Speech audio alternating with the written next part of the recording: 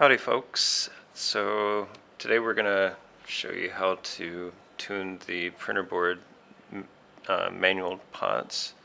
So you're going to need a multimeter uh, set at, to be able to range up to about uh, 2 volts.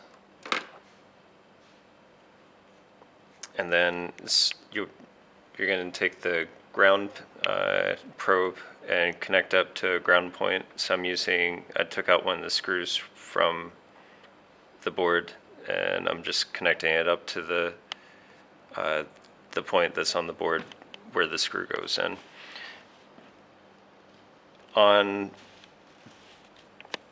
the uh, manual pots here, uh, there's three pins coming out.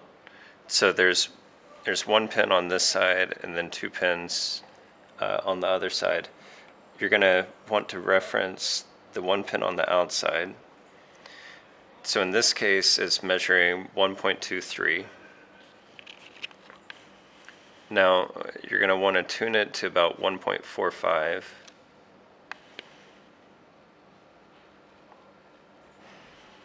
Somewhere around that area.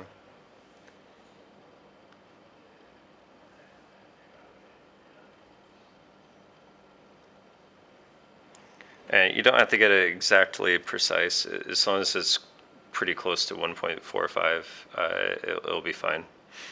Uh, You can do the same thing for all four of them. But in this case, we've already tuned uh, the others to the selected 1.45 voltage. So you want to do that to all four of these positions. And you're going to see that it's not necessarily consistent. So all of these are set to 1.45, but the pots themselves aren't necessarily going to be in the same positions. Uh, they, they have some tolerance as far as uh, where the position translates. So that's all you do to tune your Printrboard. Thank you. Bye-bye.